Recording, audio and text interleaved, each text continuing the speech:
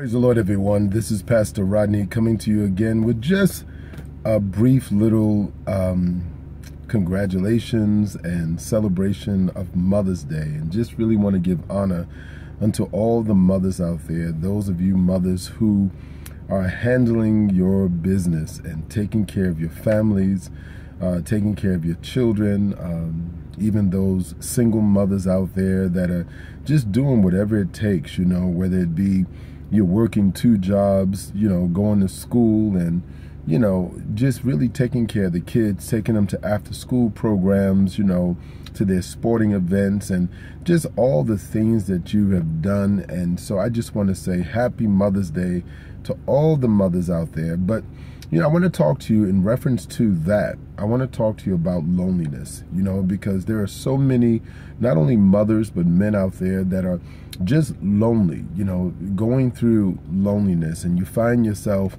feeling like, you know, there's nothing for you. You know, the Word of God says that, you know, Adam, you know, when God gave him the job of naming the animals, um, that he saw that with each animal, each animal had their own mate.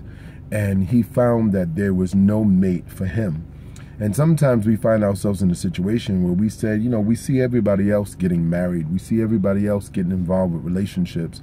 We see everybody else going out and we we start to wonder like where's the one for me? Where's there one for me? And it's important to know that God understands what you feel. And oftentimes what God is doing in those moments where you may feel alone is not really that you're alone, but it's really that God is trying to prepare you for something greater. And so you should take this time to really enjoy the moment, enjoy what you have, the freedoms of what you have right now. Because, you know, oftentimes I've counseled individuals who were desperately trying to hook up in relationships. And then when they hook up relationships, they're frustrated because they don't have any time to themselves. And so, you know, truly as humans, we're really never satisfied. But it's important to know that God says, I will never leave you. I will never forsake you. He says, and I won't leave you comfortless. And so it's important to know that even in the midst of being single, you don't have to be alone, but you can engage yourself in relationships with other people. Even in reference to Mother's Day, you know, there's some of you out there that if your mother has passed or grandmother has passed, that, you know, Mother's Day presents a time of depression, a time of frustration when you see everybody else going out and you say, well, I don't want to go out.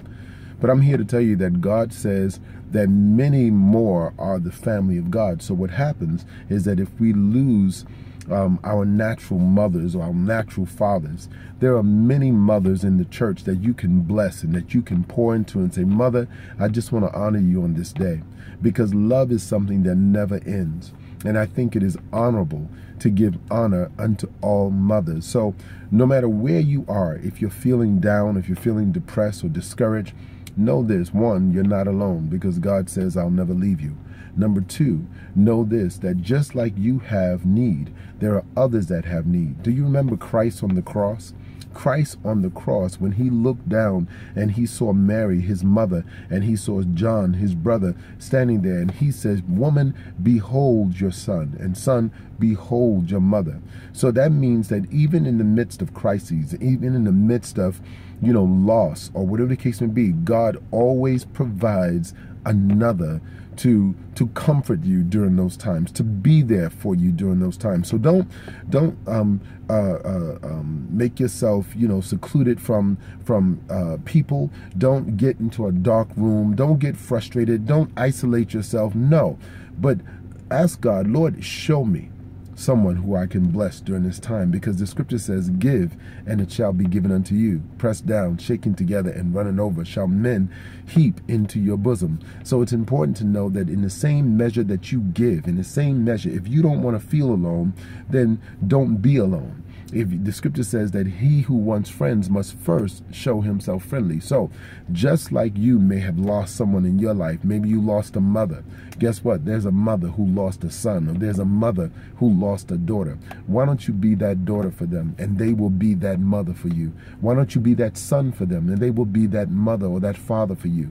I'm here to tell you that even if you've lost loved ones in relationships or maybe a relationship has failed, or it has, you know, been destroyed. Guess what? You can pour into other people because in the same manner, what you sow, you're going to reap. And so it's important to know that as people of God, we have to shift our thinking and not just think about ourselves, but we must increase our love to think about others. So God bless you, but happy Mother's Day to all of you mothers out there. God bless you. May the Lord richly shine upon you and give you peace. God bless.